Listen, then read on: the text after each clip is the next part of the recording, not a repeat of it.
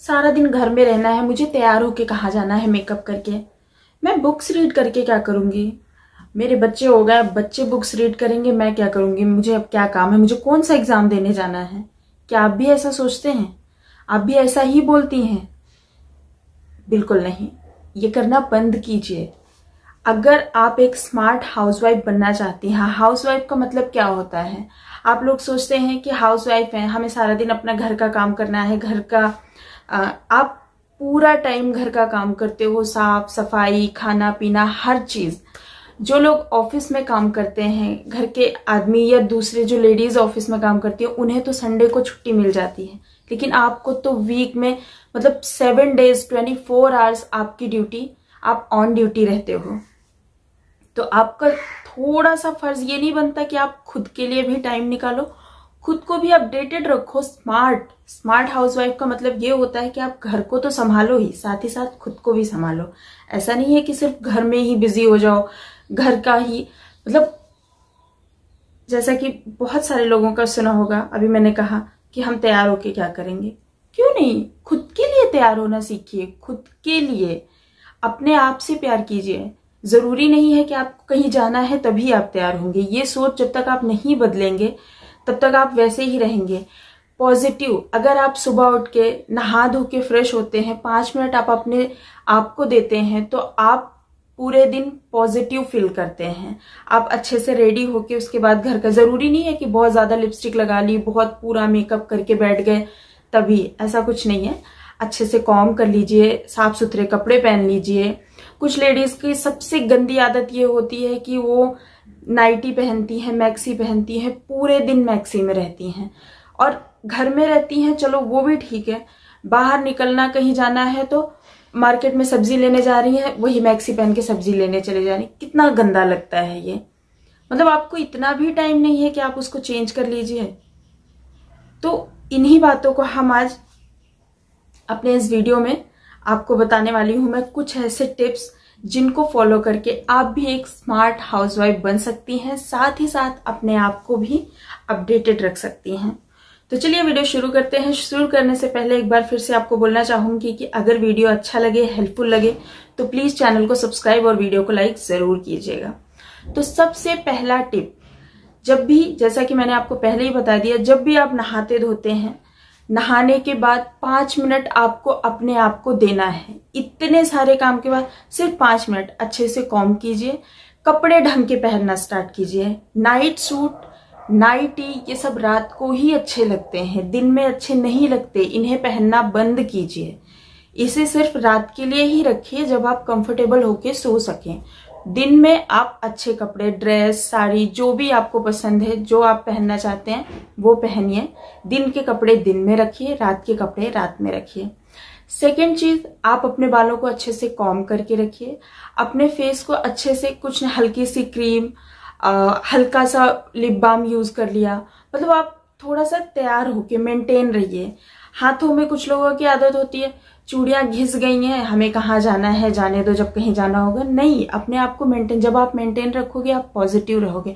और जितना, कहते हैं ना, घर की गृहिणी जितना पॉजिटिव होती है, जो बना के जो पॉजिटिविटी से वो खाना बना के अपने घर वालों को खिलाती है, वैसे ही बाकी लोगों की पॉजिटिविटी होती है। क्योंकि हम जो खाते हैं, हम जो देखते हैं, अगर आप एक रूम में पूरा मेसी हो रखा है तो वो आपको अच्छा लगता है या एकदम साफ़ सुथरा अच्छा रूम अच्छा लगता है आपको? तो वो पॉजिटिविटी आती है। तो आप अपने आप को देखेंगे, जब आप अपने आप से प्यार करना शुरू कर देंगे, आपको बहुत अच्छा लगेगा। दूसरी चीज़, घर के कामों की सबसे बड़ी और सबसे इंपॉर्टेंट चीज़ है कि घर के कामों की एक लिस्ट बनाइए। ज़रूरी नहीं है कि आपको आज जो काम करने हैं। कुछ लोगों की आदत होती है सुबह से सारा काम कर लिया। अब कुछ चीज़ें ऐसी होती हैं हमारे पास जो हम कल या परसों कर सकते हैं, लेकिन नहीं। ठीक है, कुछ और काम तो है नहीं तो यही कर लो, ऐसा नहीं है। ये बंद कीजिए, आप एक लिस्ट बनाइए कि आपको क्या क्या काम आज के दिन में करना है। या आप मतलब घर के जो भी काम है, वो निपटा लीजिए। इस टाइम तक मुझे सारे काम खत्म करने हैं। इसके बाद आप फ्री होंगी, दोपहर को दो घंटे, तीन घंटे, आप कोई बुक रीड कर सकती हैं। आप कुछ पार्ट टाइम जॉब कर सकती हैं, या फिर घर बैठे बहुत सारी चीज़ें हैं जो आप कर सकती हैं। कुछ क्रिएटिविटी कीजिए।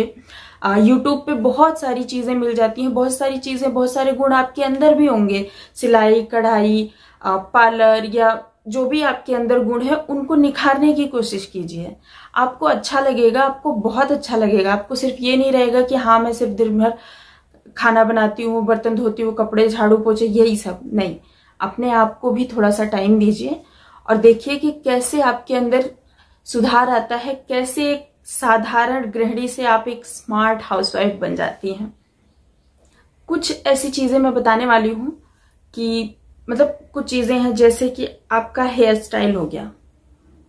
आप कैसे करते हैं हेयर स्टाइल वो डिपेंड करता है आपका फेस कैसा है। आप कैसे कपड़े पहनते हैं? आपकी बॉडी कैसी है? तो आपका फेस आपने इस तरीके से बालों को चिपका लिया तो वो आपका फेस कैसा दिखेगा? तो आप क्या कर सकते हैं? आप थोड़ा सा अपने आप में चेंजेस लाइए। आप देखिए कि आपके फेस पे क्या सूट करता है उस हिसाब से। क्योंकि मेरा ये जो चैनल है, ये ब्यूटी और फ़ैशन से रिलेटेड है। तो इसमें सारी मैं मोटिवेशन चीज़ें आपको नहीं बता सकती हूँ, पर ये जो वीडियो है, ये motivational plus beauty plus fashion से रिलेटेड है। तो इस तरीके का चंपू बनने की ज़रूरत आपको नहीं है। ये भी हेयर स्टाइल अच्छी लगती है बस कुछ लोगों के फेस पे, सब पे नहीं। तो आप अपने बालों को चेंज करना स्टार्ट कीजिए। ऐसा करने के बजाय आप थोड़ा सा स्टाइलिश इस तरीके से, इस तरीके से बना सकते हैं। फिर सारे बालों को ऐसे इकट्ठा करके क्लचर लगा सकते हैं या फिर जो भी रबड़ वगैरह आप यूज़ करते हैं, चोटी आप बना लेते हैं, यहाँ से टेढ़ी हो रखी है, नीचे से सीधी, ये सब मत कीजिए। अगर चोटी भी बनाते हो तो अच्छे तरीके से बनाइए। बालों को हमेशा कट करके रखिए। मतलब ये नहीं है कि आपके बाल बहुत लंबे हैं। कुछ लोगों को मैंने देखा काफ़ी लंबे घने बाल रहेंगे, लेकिन नीचे से वो कैसे कैसे दिखते हैं? जैसे पूछ हो। पूछ देखिए अपने गाय की। वो गंदे लगते हैं। तो उनको एक अच्छा समय ये नहीं बोलूँगी कि स्टेप करवा लो, कि बहुत सारा उसमें हेयर स्टाइल नहीं, लेकिन उनको एक स्ट्रेट वे में रखिए या लाइट यू करा सकते हैं लाइट वी करा सकते हैं। मतलब थोड़ा सा।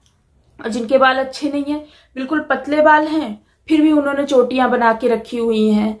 उसको क्या मिल रहा है आपको? वो कितना गंदा दिख रहा है। बंद करो ना, उसको एक अच्छा सा कट दे दो, आप क्लचर लगा दो। वो बहुत स्मार्ट लगता है।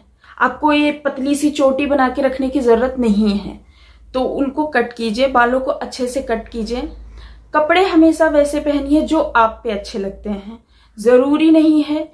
कभी कभी क्या होता है ये कपड़ा जो है ये नौ सौ रुपए का है ये जो है ये दो सौ रुपए का है।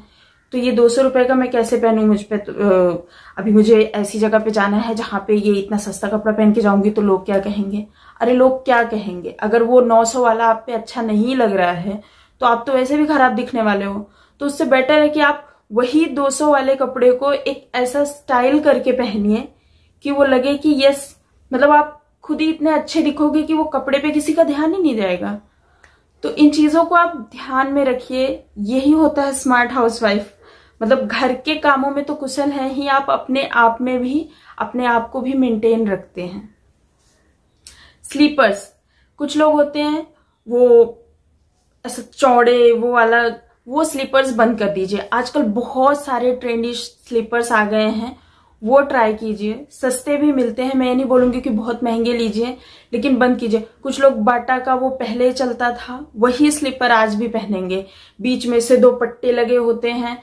वो सब बंद कर दीजिए। और एक अच्छा सा स्टाइल मतलब अच्छे से स्लीपर आप देख के, पसंद करके जो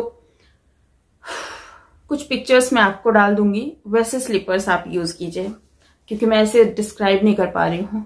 आपको अपने नेल्स की केयर कैसे करनी है?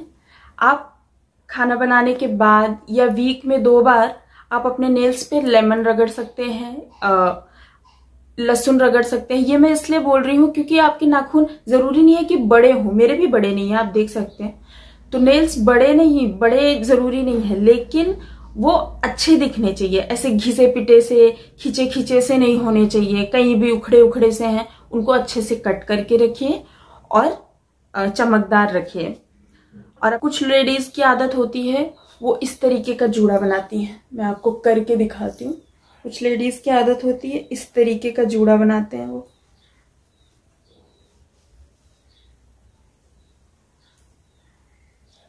ये जूड़ा ये जो बन होता है, ये आपका, मैं बता रही हूँ, दस साल एज बड़ा दिखाने लगता है। तो आप अगर घर में, चलो ठीक है, इमरजेंसी में कुछ कर रहे हैं, फटाफट से बना लिया, वो चलता है। लेकिन जब आप वैसे भी इस तरीके का बन बनाना बंद कर दीजिए, आप चाहें तो सेम इसको इस तरीके से बना सकते हैं।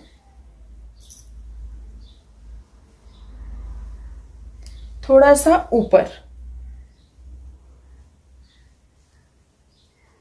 ये आपको एक स्टाइलिश लुक देगा। बन वही है, केवल जगह चेंज की है हमने। ये जो बन होते हैं ना, ये थोड़े से स्टाइलिश लुक देते हैं। और यहाँ पे जो लटकते हुए रहते हैं ना, वो बहुत बहुत ज़्यादा गंदे लगते हैं। तो वो भी आप बंद कर दीजिए, अब आप देख सकते हैं। बेकार लग रहा है मेरा चेहरा। तो जब आप साड़ी वगैरह पहनते हैं तो आर्टिफिशियल बनाते हैं। वो यूज़ कर सकते हैं आप और उसके ऊपर से ये बन बना सकते हैं, जिससे आपके बाल जो है वो, आपका बन जो है वो काफ़ी बड़ा दिखेगा और काफ़ी अच्छा दिखेगा। अगर आपका पूफ नहीं बनता है, यहाँ पे पफ बनाते हैं पफ पूफ आप जो भी बोलते होंगे तो आप इस तरह के इंस्ट्रूमेंट्स का यूज़ कर सकते हैं। इस तरह की चीज़ें जो होती हैं, ये इजिली आप यहाँ पे रख के फिर पफ बना सकते हैं।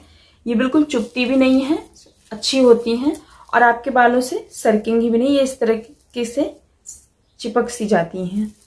ये देखें। तो इस तरीके की चीज़ों का भी आप इस्तेमाल कर सकते हैं। आ, एक और चीज़ बात कर लेते हैं ज्वेलरीज की। तो ज्वेलरीज जो होती हैं जिन्हें गोल्ड पसंद है मैं बिल्कुल नहीं बोलूँगी कि गोल्ड बुरे होते हैं पर गोल्ड में भी अच्छे अच्छे डिज़ाइन आते हैं। वो डिज़ाइन या फिर आप आर्टिफिशियल यूज़ कीजिए। आजकल तो बहुत सारे ट्रेंडी इयर और नेक वगैरह ज्वेलरीज रिंग्स वगैरह सब अवेलेबल हैं ऑनलाइन है, आपके लोकल मार्केट में भी मिल जाता है। तो ज़रूरी नहीं वो पुराने जमाने का वो डिज़ाइन लेकिन हम नहीं, हमको गोल्ड ही पहनना है तो हम, हमने कुछ भी डाल लिया, बस वो गोल्ड दिखना चाहिए, किसको दिखाना आप कैसे दिख रहे हो? आप अपने आप को देखो। वो चीज़ चेंज कीजिए। आपको स्मार्ट दिखना है तो आपको अपने आप को थोड़ा सा बदलना पड़ेगा। कौन क्या कहता है, वो छोड़िए। घर के साथ साथ जब आप अच्छे से रहेंगे, आपके हस्बैंड आपके बच्चे भी बहुत ज़्यादा खुश होंगे, बहुत ज़्यादा बदलाव आपको देखने को मिलेगा। अगर आपको यकीन नहीं आता तो आप ट्राई करके देख लीजिए इन चीज़ों को, खुद के साथ, अपने घर का। उम्मीद है कि मैं अच्छे तरीके से आप सबको समझा पाई होंगी, जो मैं समझाना चाह रही थी कि आप अपने आप को कैसे बदलें, अपने आप को कैसे एक साधारण गृहिणी से अपने आप को एक स्मार्ट एक स्मार्ट हाउसवाइफ नॉर्मल जो हाउसवाइफ है, उनसे एक स्मार्ट हाउसवाइफ कुछ बहुत ज़्यादा बदलाव नहीं है छोटी छोटी सी चीज़ें अगर आप इनको फॉलो करते हैं, आप इनको ध्यान से समझते हैं तो बहुत फ़र्क नज़र आएगा। और मैं जो समझाने की कोशिश कर रही थी, वो बात आपको समझ में आई होगी। तो प्लीज़ अगर अच्छा लगा हो तो चैनल को सब्सक्राइब ज़रूर कीजिएगा और वीडियो को लाइक कीजिएगा।